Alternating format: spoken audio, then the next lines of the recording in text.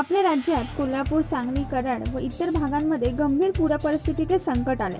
अशा परिस्थितीत दुःखदरित्या एकोणतीस जणांना जलसमाधी मिळाली. लाखो कुटुंब या भीषण संकटात उद्ध्वस्त झाले आणि कुटुंब बेघर झाले असून या पूरग्रस्त भागातील आपदग्रस्तांना मदत केली जावी या सामाजिक बांधिलकीतून राज्यातील विविध भागातून मदतीचा ओघ सुरू झाला असून अशा संकटसमयी आपल्याच बंधू भगिनींच्या पाठीशी उभे राहणे हे आपले आद्य कर्तव्य आहे.